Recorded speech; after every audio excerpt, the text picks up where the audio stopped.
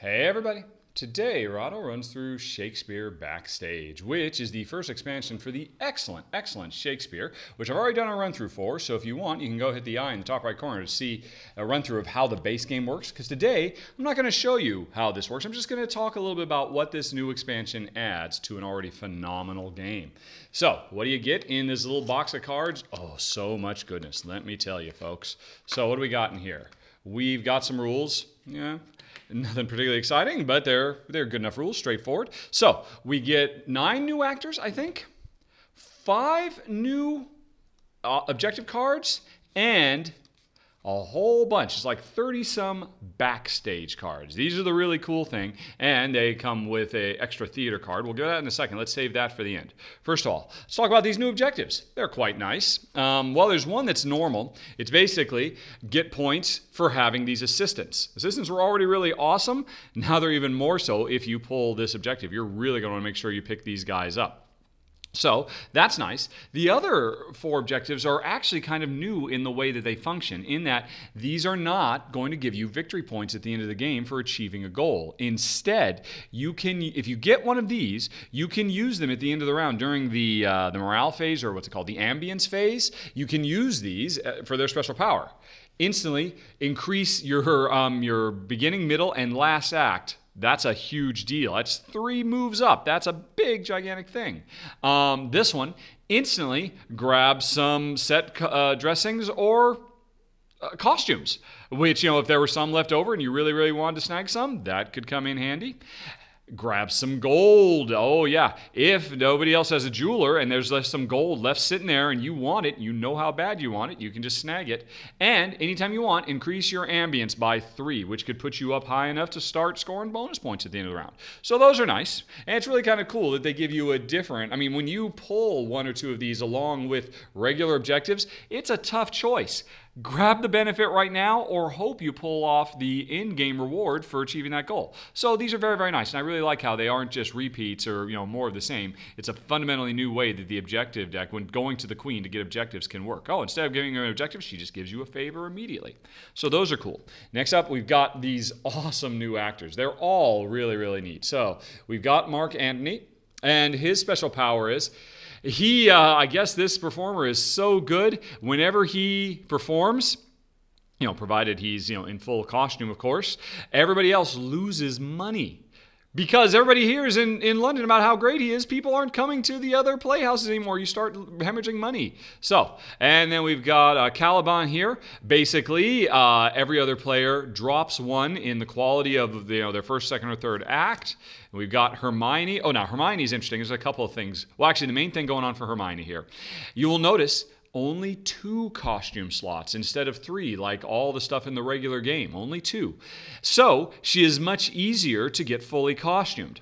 But what that means is instead of, you know, with a regular character, you get them fully costumed, you get a benefit, um, you know, depending on how good the costume is. And then during dress rehearsals, they can, if they're fully costumed, they can make use of that. In the case of these two space characters, I think there's a couple of them, you can fill this up much quicker. I mean, if you fill them up with high with high quality costumes, you could still get that nice bonus. And once the costume is built, you immediately get this bonus. You don't have to wait until dress rehearsal near the end of the game. So your was the blue, your third act immediately gets better as soon as Hermione gets into a really nice looking costume. Here's another one, uh, Mercutio, same basic idea. Uh, Ophelia uh, this one's actually very, very cool. Activate her to get one of the plus threes so that your tradespeople can be more productive right out of the gate. Now, she's expensive, as you might imagine, because that's a really awesome power, but it's a really awesome power. Now we've got Shylock over here, another one of the double. Oh, the ghost. So the ghost is just spooky, I guess. Every time you activate him, other players' plays drop. I mean, I guess the uh, you know they're, they're just not written as well as one would have hoped. And more importantly, for dress rehearsal, when he's fully outfitted, get another objective. Coming late in the game, that might be a bit of a gamble. Although, now that these things are in here, it's less of a gamble because these are always, almost always going to be useful at any time. So the ghost power. Then you've got Richard III. Oh, this is probably my favorite one. Um, so this is another double. And his power, every time you use him, um, you know, is so well written. He is such an incredible, memorable character. Your first, second, and third act all improve every time he rehearses. But Um, the problem is, of course, you also drop. I mean, it, it, it's an incredible performance, but it's such a hideous performance that the morale of your entire troupe drops every time you use him. But if you put him in a really nice costume, that effect goes away. So you just got to dress this guy up pretty before you start having him perform. And then, okay, now this is the coolest one. The bear um, three. Uh, you know, increases your play by one if he's fully if, he, if it's a really nice bear costume as opposed to a, a, a crappy bear costume, I guess. The special power here is though you don't have to actually put uh, a disc to activate this guy.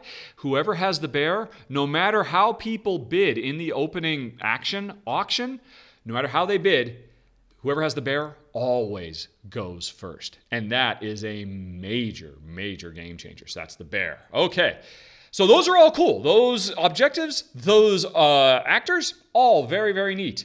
But that all kind of pales in comparison to the backstage. How does the backstage work? Okay, well, you've got a whole bunch of characters. I think there's like three of each one. There's two, three, or four of each one. I forget. I haven't actually counted them up. But you know, you, you shuffle them up at the beginning of the game, and as you know, part of the setup for every round, when uh, you know a certain number of actors come out based on how many players. Say if you're playing a two-player game, you know four actors are going to come out. In addition to four actors coming out, four backstage characters come out as well. And of course, with more players, there'd be more backstage the same way there's more actors. Now, here's the way this works. Oh, I should have grabbed some discs. Let me grab some discs. Oh, where are you? I'm totally prepared, folks. Not even remotely. All right, so, hey, I'm the green player, and I've got my discs. And of course, you know, uh, playing Shakespeare, the first thing you do every round is you got to decide: Am I gonna go try and do four actions this round, which means I waste one action, um, but that means four people are tired out. So next turn, um, you know, there won't be much I can do. Or do I go for? But you know, because the more I do, the you know, the, the more actions I do, I'm more likely to go first. But I tire everybody out, and whoever does the least actions, of course, gets a point. And in this game, every point you get is huge. That's gigantic. And so, you know, it's always an interesting notion of am I going to bid three? Am I going to bid two? But often, we have found with the base game, it tends, people tend to go with three or two. And so a lot of the times, we have found the tie is broken by the initiative track, which is important as well. But with backstage, things get much more interesting because what happens is, let's say, you know, on a given turn, you know, there's all the backstage cards come out. Here's all the actors that have come out every turn. And let's say I go on ahead and I say, you know, I'm going to do three actions. And I reveal, maybe I'm first, maybe I'm not, whatever. I've got three actions I'm going to do this turn. In the base game, these just get put off to the side. They don't get used. That's, that's lost opportunity. But with backstage, they come over here and everybody puts them on the backstage. Let's say Jen did three, I did two. These are now additional discs. We get to use all five of our discs every round, no matter what. And but it's still turn-based. And you know, so my first turn, I might use an action because I really want to get initiative, or I might, you know, get uh, Ophelia because I really, really want Ophelia really bad. As an example, because who am I? I'm the green player. So I, I, I might value that more than anything else. But that means I'm maybe giving Jen first dibs on backstage stuff, which we can use our unused discs for. And every backstage character, they do all really, really cool things. They're not as powerful as the as your actual actors, your actual tradespeople. They're like less powerful versions, but these can be a really big game changer. For instance, okay, well, I, I wanted Ophelia so bad, I decided to go for that first. That meant I gave Jen first dibs on the backstage. So if there happened to be some gold items out, even though Jen doesn't have a jeweler, she could spend two of her unused discs to activate the jeweler and get some costumes or set gold and set dressings. That's really deal because once Jen does that, it's gone. Okay, Jen's taking that. I can't do that anymore. And maybe I wanted that point from that gold set dressing even more than I wanted that. Um, let's see, what else might Jen do if she's first over here? Well, she might come over here. Oh, I forget what this guy is. The he's like the stage manager or something like that depending on the number of discs you want to use. If Jen uses one disc, she could grab a lowly level gray uh, set piece, you know, from the from the display, and install it over here on her own private stage. And what happens is the first one you put in goes on the bottom. You score points for that, and you get to do whatever it is. Uh, you know, gray ones don't do anything, but of course, you know, if you, if you get the blue one, which requires two discs, that increases your ambiance by two. Uh, you know, et cetera, et cetera. But so know, Jen might might come over here to use this guy and grab one of the blues, put it here, get a victory point, and get a uh, you know get ambiance. Now here's the thing: several of these guys are going to come out over the game. If another one comes out in a later turn, you could use him again and put a second thing here. Now you won't get a point for the second, but both the first and the second one will be activated. So ultimately, if you visit this guy, there must be four of them in. There must be four of each in the deck. If you visit him all four times, you could activate this whatever you put here four times, three times, two times, and one time, and get two points. These could be incredibly powerful. And if Jen wanted, if there were a green set piece out, she could put all three out. But maybe she doesn't care about that. Instead, maybe she wants to visit um, Kit Marlowe. Uh, not, by name, not really joke around. Uh, a single one, which means then maybe Jen could use her other two over here to on, on, a future turn if I don't snag it because you know maybe Jen wants this really bad uh, because she figures well I've only got two I won't go for one over there I'd probably want to go for three. If you use all three of your backs if you have three backstage discs on Kit Marlowe all your action creeps by one instead of just a single disc means one of them. So maybe Jen comes over here for the jeweler. And then later on hey I've got two and I go on ahead and start building backstage. And then Jen visits Kit and she gets to increase one of her acts uh, by one. Let's see. Oh, this one, this is the line reader. He's a special one. Um, if you take him and it only requires one, most of these backstage, you use them once and then they're removed from the game. This guy, though, gets recruited like any tradesperson. You use one to recruit him. His special power is when you're during dress rehearsal, when you might lose points, for not having your axe out of, you know, getting up to the middle, you know, because you lose points if your axe are down low. Um, with the line reader, you can actually spend money to avoid losing one, two, or all three of those negative effects by spending one, two, or three bucks. So he could be really handy too. So maybe Jen would then go ahead and snag him because Jen's not going for a game where she's going to get her play really well done. She's instead going for costumes and props or whatever. Or she might go for Kit instead. And so the extra thinking that has to go in because you know, uh, I, I opted not to have any of these, even though I had two here because I wanted that. But maybe I wanted, um, you know, Maybe I want the gold really bad, and then suddenly Jen's plans go awry. Who knows? There are so many cool characters here. Um, the, the Ragman, his special power is he lets one of your regular tradespeople go to the discard pile. Um, you know, uh, set pieces and clothing that has been discarded can be gotten out with the Ragman. Oh, the Hatter. She might be my favorite. Because, you know, normally you are putting, um, man, where are they? Is this the I should have had all my pieces out first. You know how you're playing the game, and I've got an actor. Let's have a normal actor. Uh, you know, I've got this extra. And hey, I'm putting clothes on, I'm putting outfits on him, and oh yeah, this is gonna be really, really great. Um, you know, one more, he's gonna be up high enough to score me a lot of points when I complete his outfit.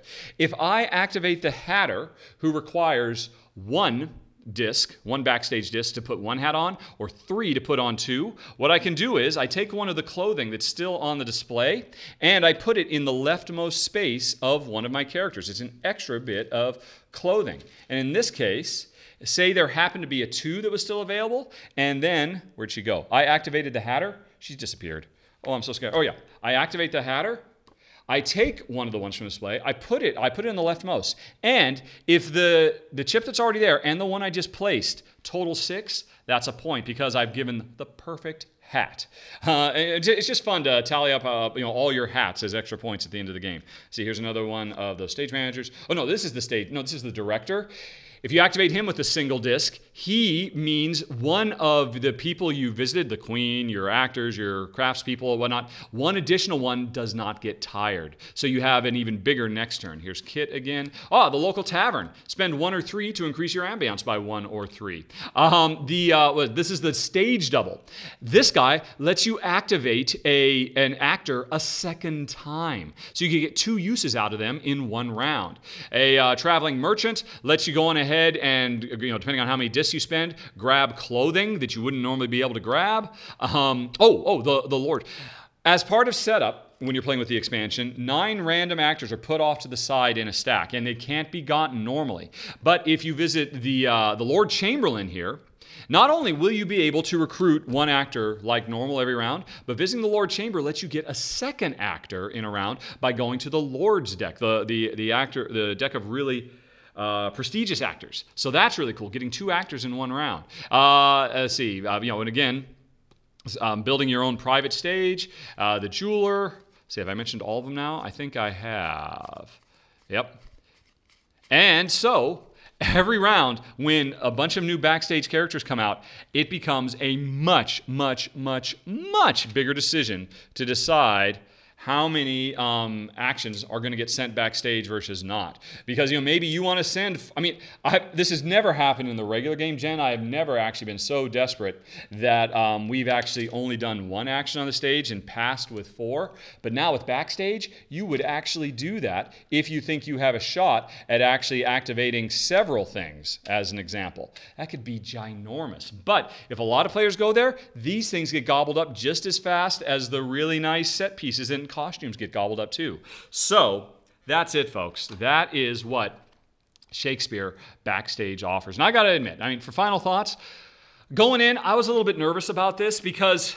Well, I liked the new objectives. I'd read about the actors. I liked all the new powers, but I was really worried about the backstage thing because base Shakespeare is so good. It's already such a wonderful tightrope of a decision making process every round when you have to decide how many discs you are going to sacrifice to get first place, to get first player.